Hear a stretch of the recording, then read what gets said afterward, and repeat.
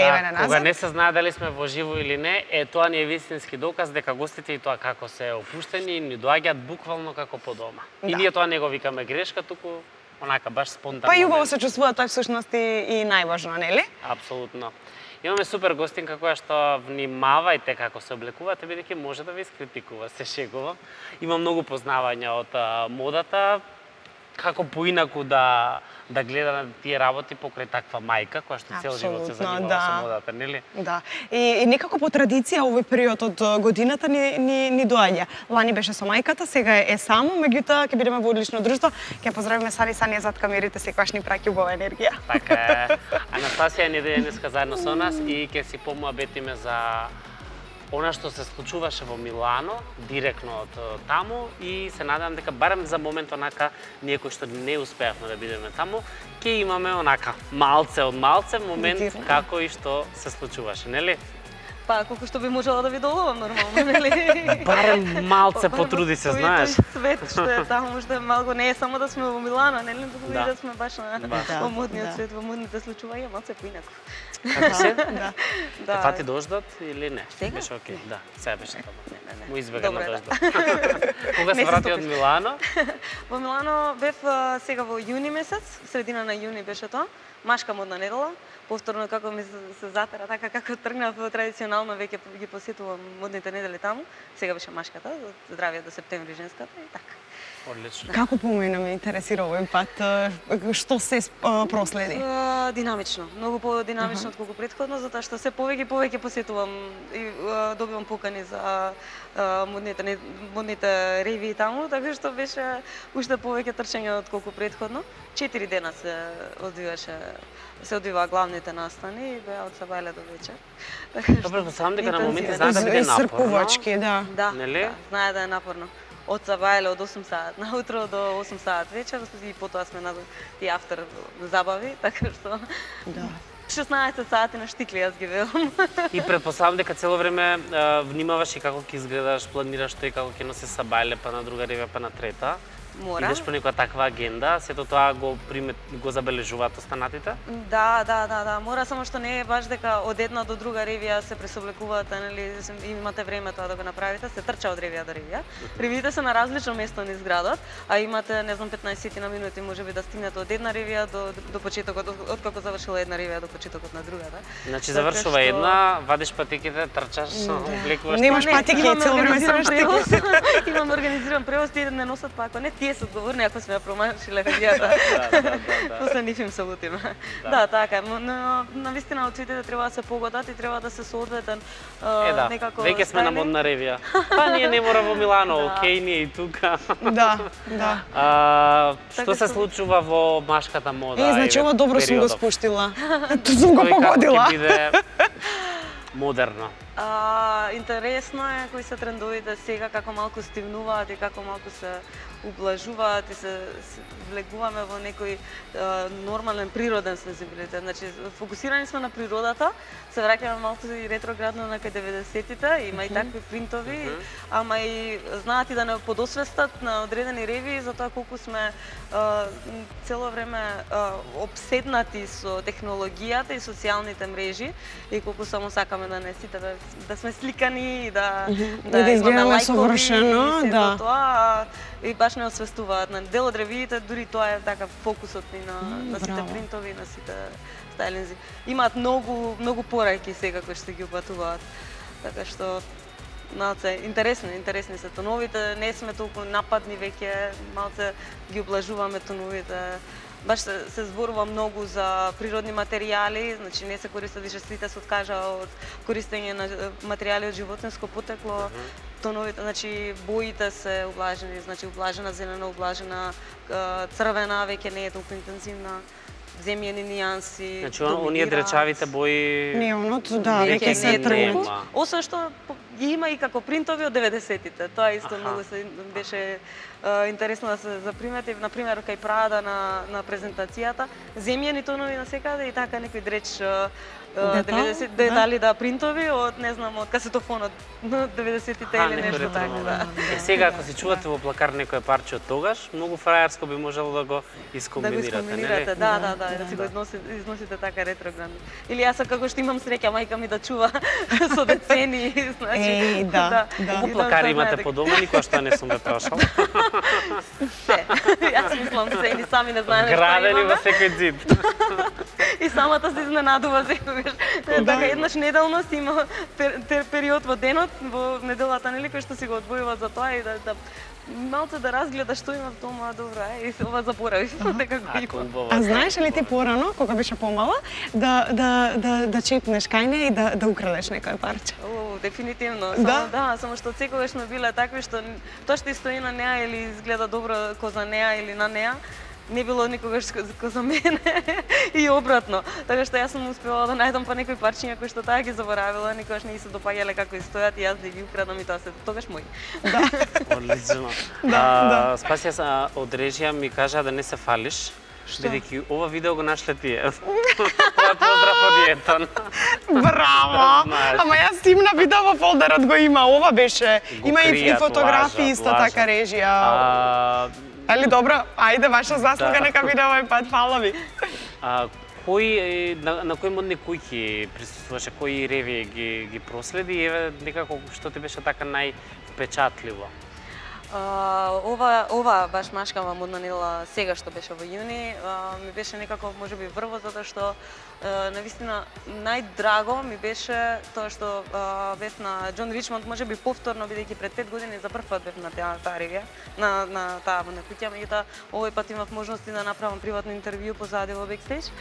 Да, затоа што тој веќе ме памти како македонскиот новинар, така што Стварно? Да, многу ми беше беше драго, мислам. И особено затоа што таа ревија не беше во склоп на Миланската модна недела како што камера мода ја организира. Значи и меѓу другото и Долче и Габана, м, ова ревија која што гледаме нели во позадината. А, тие не презентираат во склоп на на тој распоред кој што веќе го кажав. Значи распоредот е доста поопширен од само таа официјална агенда. А, така што имаше и доста други, на, како Discord, бев на Fendi, на Armani, на а, Пал- Palzelleri, кој што исто ми беше та, тоа е се некои од ревиите кои што има и доста имиња кои што можеби не се познати за публиката, меѓутоа за мене значајни во- многу Да. се значени, да, кои што се и имиња во подем сега како numero 00 или Спидер кои што се нели спортски брендови кои што навистина растат, интензивно растат и се препознатливи така што мислам се препознатливи за таа сцена таму, каде и да е ќе дојдат. По а, Филип Лейн има фантастична, феноменална и ревија и забава, спектакуларна како и секогаш, нели? Така. Добро, возбудата се чувствува се уште, нели, оние импресии ги... Да, да, останува. Тоа, нели? не, тоа не е нешто што може, не знам. Еве, баш и денеска дискутиравме со Сани, некако навлеговме во темата, веќе почнав поредовно нели да ги посетувам како сезони. Секоја сезона има некоја приказна која што ми останува, која што е поспецифична можеби, ама за секоја сезона така имам доста што да кажам, да споделам исто како во сега само што сум се вратила таму, така некако Баш, доживувам. баш. Да, тоа се некои приказни што остануваат, мислам дека се животни. Е, да, точно. А, со кого направи интервју и еве што би можеле да споделиме од тие моменти? Што е она што од самите изјави така ти ти одзвонува постојано во глава? Um, имав доста контакти во последнава година, еве да речеме од предходната машка недела до до денес до оваа сезона. Имав доста контакти со дизајнери бекстејдж. би рекла за мене исто освен ова со Џон Ричмонд сега што беше навистина подолго интервју, а, имав неколку изјави на пример од Алесандра Делаква, што ми беше исто драго. А, можноста да го видам и да го сретнам точно Џорџ Армани, значи Да, да. Армани, Армани. Е за, да, Армани Армани, значи Армани, Армани. дизајнерот, да. Вистинскиот, онај баш Армани. Само што ми беше многу уште поинтересно што тој е таков лик што на вистина е тешко да се дојде на него. А како- и сите оние како кои ти што се е па тоа е после ревијата, После после ревијата. ревијата да имаше и сесија нели остануваме тие кои што сме гости ако сакаме можеме да останеме бидејќи е навистина од затворен тип, не може секој да влезе таму. Е, интересно беше што дури и тие кои што се неверојатно ба, почитувани како инфлуенсери или како како ликови во модата во денешницава, И тие се така возбудени, значи да се поздрават и да се сликаат со него. И сега нормално, не знам, јас дури не се сеќав дека сум до тој ранг, сега јас да отидам да се, нели, да се сликам, ама убаво е да се биде таму. Да, ова ова ревија на Emporio Armani на пример беше многу интересна. Сега не баш ова, него таа на која што присуствував, беше доста интересна затоа што имаше и олимпици и параолимпици кои што на, настапија во спортска Армани, Армани линија на крај како дефиле и тие беа таму и со нив можевме да разговараме. Тоа се извонредни луѓе кои што нели има интересни животни приказни. Така. Контактите во, во овој свет Да. значат многу, нели? Да. Тие отвараат врати. Па без контакти мислам дека ништо. Така. Додека не знаат кои си што си на почетокот беше ексклузивно дека некој од Македонија ќе им кажеме како такво, меѓутоа не препознаваат. Не значи нешто тоа многу за нив. Мм. Колку и некој да да успеал тука, ако та, тие не препознаат таму, не дојдеш не се запознаеш, меќе ништо. Така и нели откако не за на пример контактот со Долче и Габана мораше да настапи лично со состанок кој што е пред куќата, па потоа да сега веќе да имаме контакти таму, така што значи дури не се ми влегува таму првично. Аха, е. аха. И како се Да. случуваат тие состаноци? Што, што се дискутира, што се кажува, тоа многу Се ме представуваме кои сме, што сме, што сме работеле, како сме, зашто сме, нели? Мгм. Е, колку што можеме да представиме сега. Македонскава сцена е малце сиромашна. Мислам, не е толку сиромашна колку што навистина не се развива колку што го има потенцијалот. И тоа е малку голем проблем, особено затоа што медиумите немаат баш модни парчиња во својата агенда. Мислам, се можеме сега ќе имаме еве вака разговор за модата, меѓутоа не е тоа дека баш се третира модата како што би Так, требало так, во нашите так. медиуми. И тоа малку се гледа и се приметува, мислам дека во, во тие контакти таму. Затоа што ние еве сега во машкиот магазин можеби исто така ќе нели осапуваме простор за ова бидејќи е ексклузивно нешто, ексклузивна посета ја го третираме, меѓутоа тоа е само сегмент од сето тоа. Немаме моден магазин, немаме модни емисии и тоа се си има свој ефект. Е, сега- Треба да се развиваме во да, тој поглед, треба да ги убедиме дека навистина имаме квалитети, дека тоа се случува паралелно. Колку што тие ќе ни дозволат ние да имаме нели материјалот таму, да го пренесеме тука, толку и тоа тука ќе имаме нели ќе ќе ја препознаат веројатно, барем се надеваме, потребата за да имаме нешто кое што ќе значи Так. модна модно делче. Ти, ти беше единствената од Македонија која што беше присутна на оваа модна недела или Да, како така? како новинар. Да, да. Предпоставувам дека може би имаше некој од посетителите надвор што слика тоа кој како е облечен, ама да, како новинар, да, само Па, јас. И самото по тоа е престиж да се појавиш, особено а, бидејќи ти навистина го, го работиш ово со, со голема љубов и го следиш сето тоа. И некако си доказ дека со ништата с- може да се исполнуваат.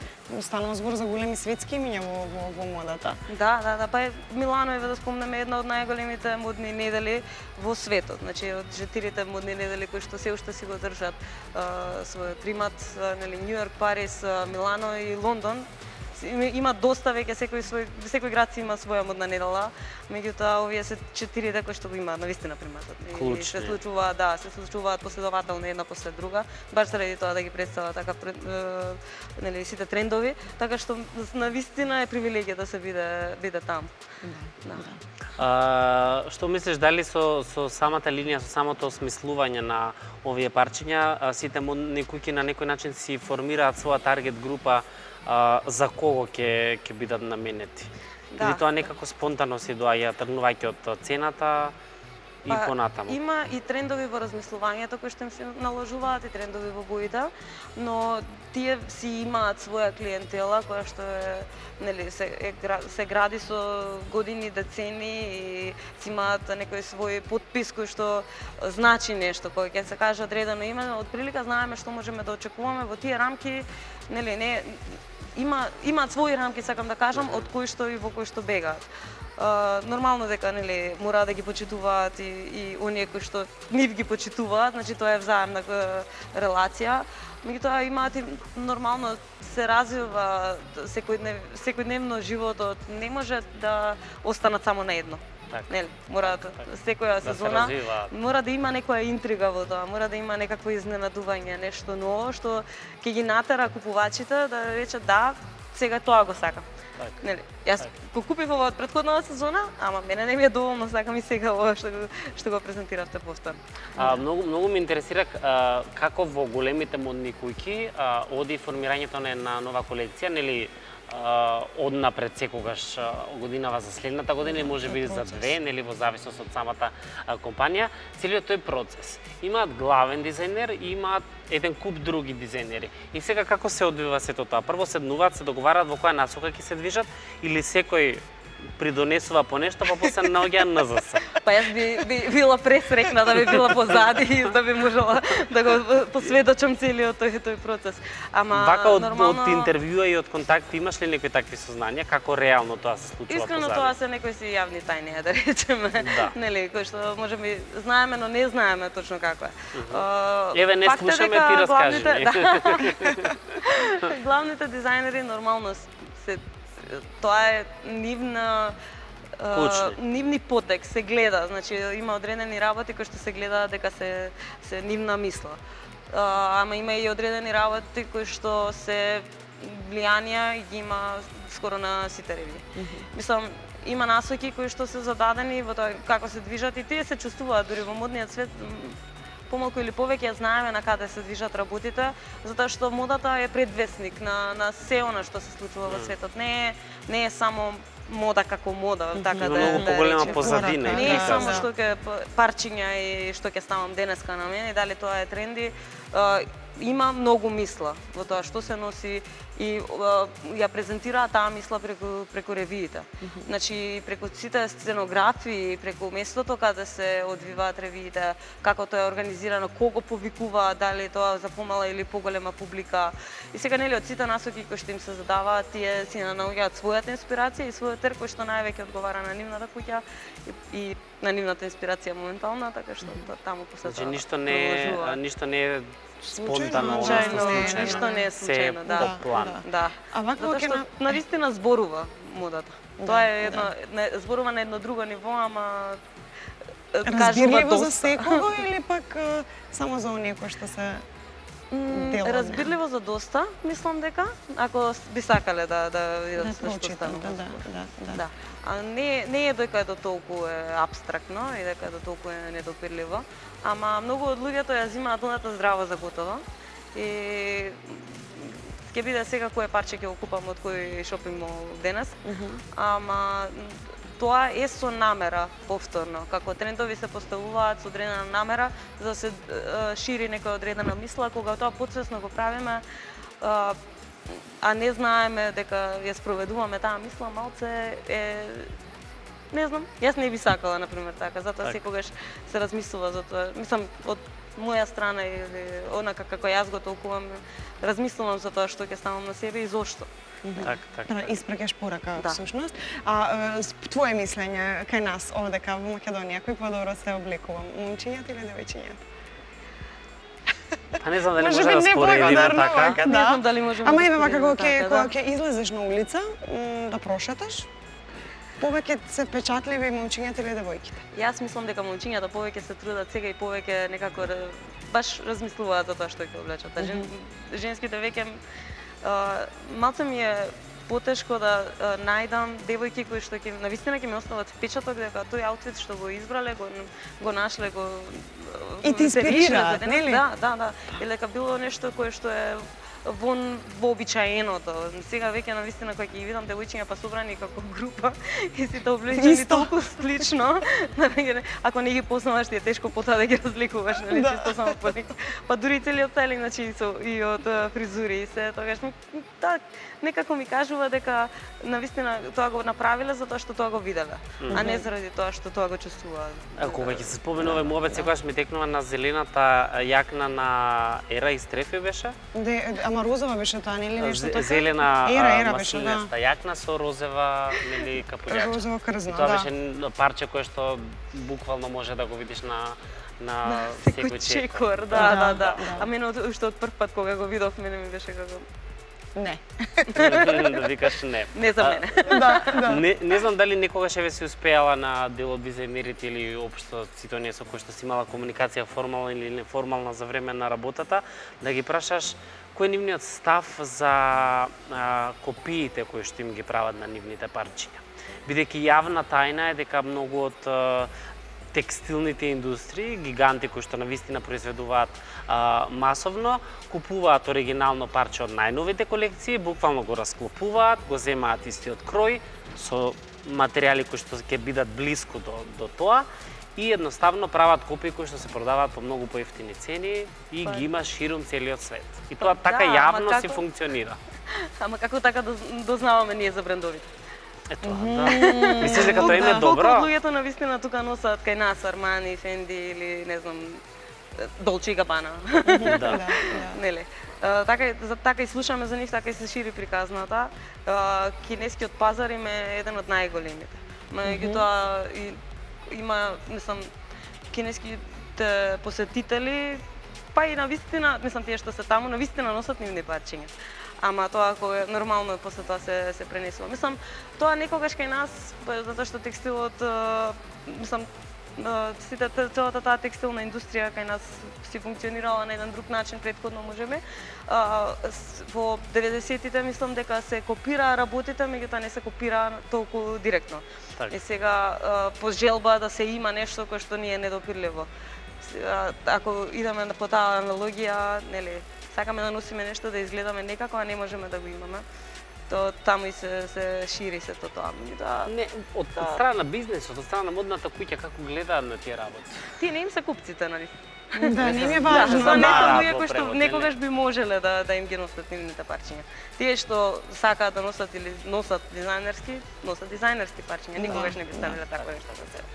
Мислам, колку и да тие се обидуваат да ископираат материјалите, кројот, изработката, не е можно да се достигне тоа ниво. Се гледа тука има многу, да. Е па тоа е всушност привилегијата кога ќе ги видите работите од прва рака и кога ќе ги видите ќе седнете во првиот и ги гледате како поминуваат покрај вас, тоа е е, фантастична извонредна изработка, не знам, линијата на Џорџо Аманиеви за која, на, на ревијата на која што бев по февруари, јас тогаш останав без зборови, навистина после тоа немам што да кажам.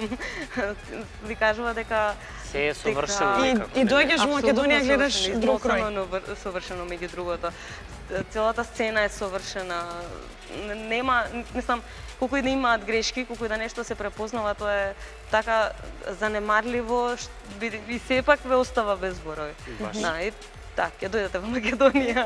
И по- потоа И тука затоа ќе Е, тешко, се нели? не може да се пренесе тоа зошто така потоа ти е размислувањето и мислењето за одредени работи, ама па се има можноста да се фасцинирате од луѓе кои што навистина работат кај нас. Ако Да. не, имаме има, доста има, квалитетни да. луѓе, креатори кои што се трудат и, и кои што имаат навистина квалитетна изработка, кои што да би имале можност би достигнале некој таков така, Баш. барем, нели, добро сега, тоа е навистина цели тимови, ама би достигнале вистински високи нивоа.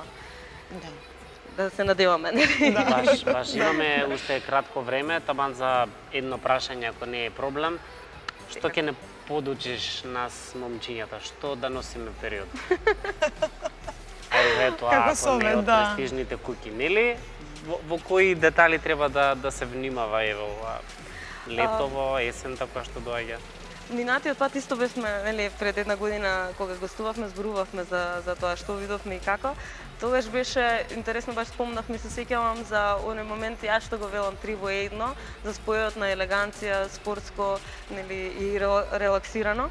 А, сега го има тоа, меѓутоа како што реков, малце е tone down, малце е по а, некако по а, спонтани се комбинациите, повеќе се некако усогласени парчињата кои што се комбинираат и не се нити се интензивни во боја, нити се некако драстични во кроеви, така што тоа се некои убави а, насоки кои што ги ги фаќа таа некоја машка мода. Значи што е поедноставно и поеднобојно во превод? А, навидум така, меѓутоа е се, се уште е комбинација на сите тие елементи, се уште е комбинација на бои, на дизајни, на патерни, ама е малце поубаво уиграно. Има многу многу убави работи што може да се видат сега што беа презентирани и како што реков тоа земјените бои, нели на кафено, на природно зелено, на нормално црната и белата се тука. Убаво уиграни, можат навистина да кажат и нешто друго. Не се не се мртви бои, туку се убаво а, разживеани сега во периодот. Убаво, убаво На кажано и крајот добро, од денот, да. да, а, носете она во кој што се чувствувате удобно и комотно и не се трудете да копирате никого, туку бидете свој. Апсолутно, и затоа и се и тие комбинации. Тоа се некои некои а, комбинации и од чувства меѓу другото, бидејќи сите нели имаме динамика на животот која што не можеме денеска и и сега и после, а и утре и заутре да се чувствуваме исто. Затоа и стајлингот, значи тоа се парчиња кои што ние им даваме живот и Баш. треба да ги искомбинираме на начин на кој што ние се чувствуваме. Ние ги носиме парчињата, не тие нас, нели? Да, да, да. Тие како како она што ќе го видиме визуелно таму презентирано, тоа е само а, пример, идеја и насока и па и лекција да речеме. А од таму после тоа колку повеќе ќе видиме и ќе научиме, па потоа ќе ни биде и по природно ние да играме со тие коцки кои што ни се дадеме, ни да речем како слагалица е тоа кои што со тие парчиња па ние да ги скомбинираме, да ги направиме една цела слика. Ова е онај момент кога викам дека некогаш му сакам во емисија да дојдам со пижамиот по дома. О, и тоа ќе јас го тоа многу реализирам. често го, го, го посакувам, Тоа ќе го да. комоција, да. нели? Добро, да, има и такви и такви парчиња. така Ами такви парчиња има сега веќе Да. во модата. Да. Сега буквално се има. Да, Мислам да. на метките на пример, оние кои што се за Да. по дома тие исто така се да, тренд. Не само за девојките, веќе и за момчињата, така Да, што да, да. и ќе имате наскоро. Да. Океј, а, фала ти многу. Ти благодариме, И продолжи модно да не освестуваш. Убаво кога имаме вакви нови генерации на модни новинари кои што навистина онака од срце го работат тоа што Да, го тоа работат. се гледа. Благодарам Се на поканата, и благодарам на препознавањето, му беше драго што бев се повторно да видиме и навистина, следен пат. Да. Се гледаме да. повторно. Ето Да. така. А, со вас ќе се видиме утре, ако не се лажам, 17 Не се лажеш и 20. Никогаш не се лажеме. Чао. Довидување.